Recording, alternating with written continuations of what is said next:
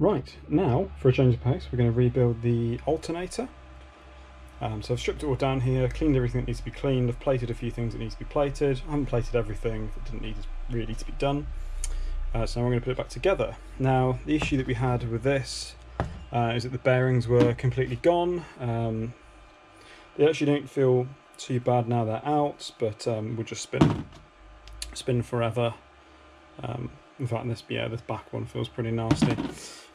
Um, so what we need to do is pop the new bearing in here.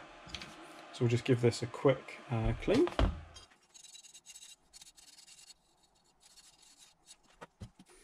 And as you can see, the bearing is a very tight fit in here. So we'll have to press this in. Um, so this is the old bearing just for reference. Um, so I've got the new bearing actually upstairs in the freezer. So I'm going to go grab that. Let's see if it just slots in.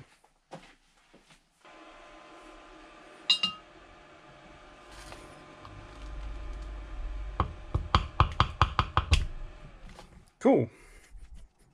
So that's just slotted in really nicely.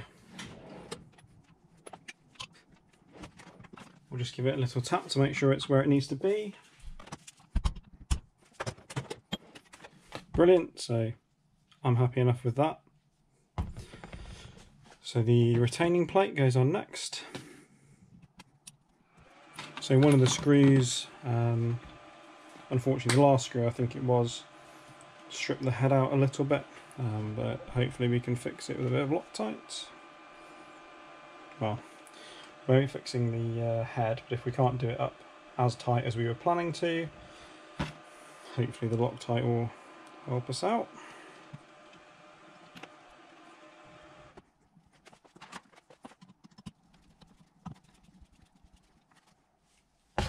So this is the one that's stripped, so we'll just have to watch that one.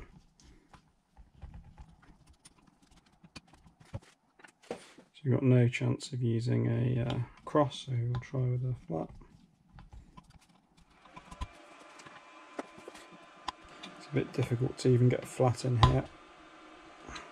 But we, we can do it up tight enough.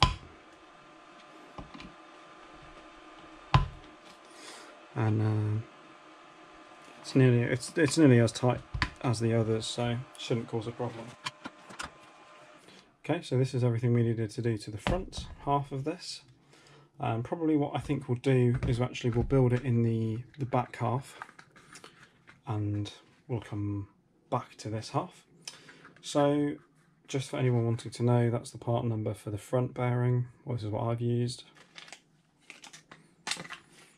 And the back bearing is not here. Oh yeah, B10 50D. So let's try and get this bearing to the smaller bearing on here. So we'll put the nut on the front of this to help us out a bit.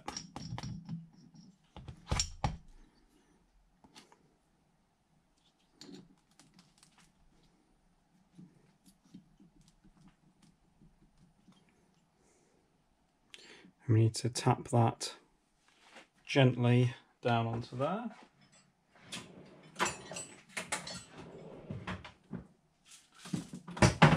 I'll try it gently with a mallet first, directly on the bearing, see how much force is required. Okay, a bit more than I want to do. Um,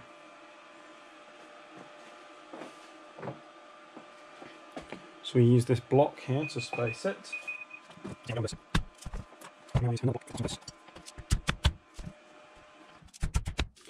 Okay, it's going. Uh, I'm going to finish this on the floor um, because the desk is not that stable and hopefully we'll lose a little, little less striking force. Perfect, okay, so we've got our new bearing on. So I think what we'll try and do first is we'll try and assemble these two components together, uh, which is somewhat tricky, but we can do it.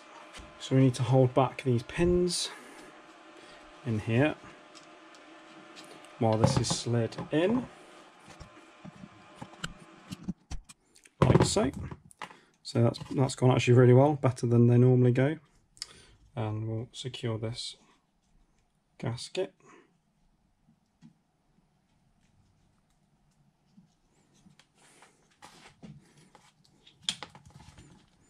so this is now sat where it needs to be in here. Now this sits in this rear housing.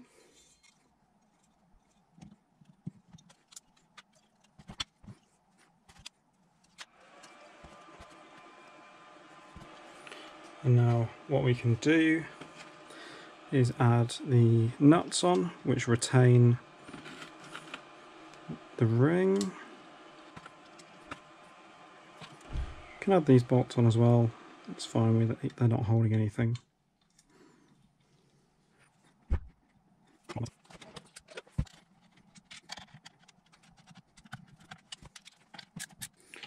These don't need to be anything more than hand tight, they're only small.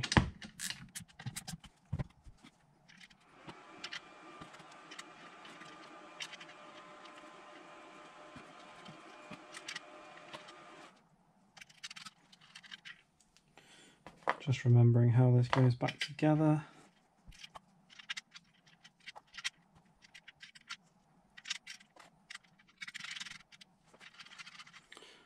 I'll take a look at a picture for that one, but it's some combination of those.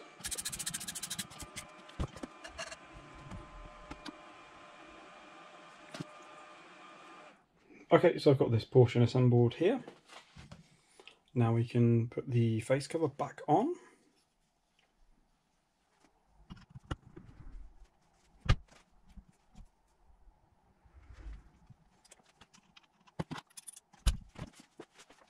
Just tap this.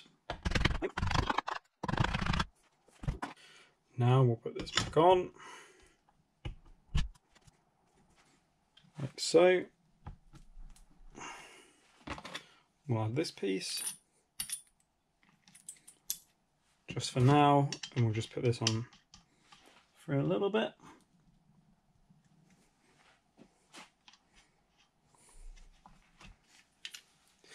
Now we can flip this back over.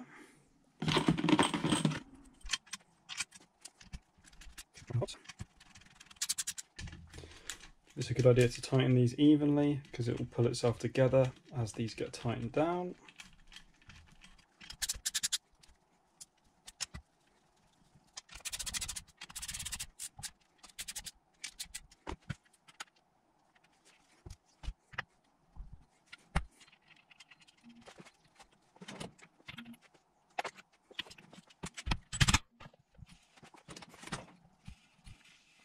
Perfect, okay.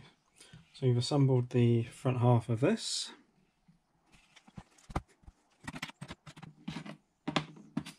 Now we just need to remind ourselves about this. Right, annoyingly I worked out how to get the little bit of black plastic on. Uh, it should have been on the inside, uh, so I've just taken this all apart again and put it back together with the right plastic bit on the inside. This bit of black plastic sits here, the larger bit, and it's double nutted, so first nuts to hold this on, second nuts to actually hold the post on. So that's on there for now. And then these are little earth points. So we'll just pop the bolts in for now.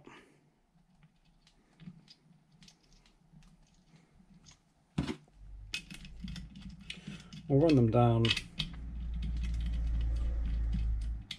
to clear out the threads and we'll run them back out again.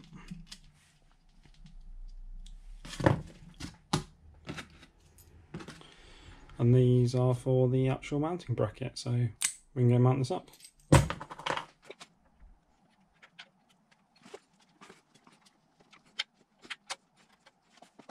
And we'll add our little nut piece to the back side.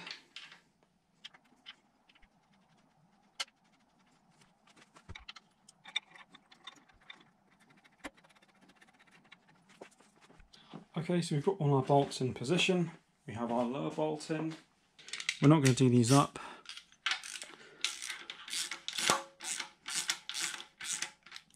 We still want to be able to rotate this.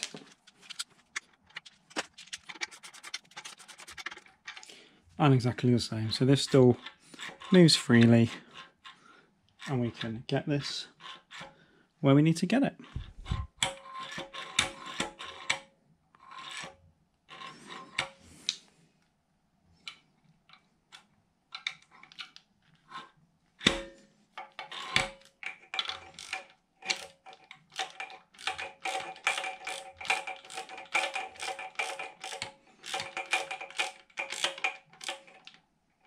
For the sake of installing our belts, we'll just put it here for now. But there you go. For now, we've got our alternator installed.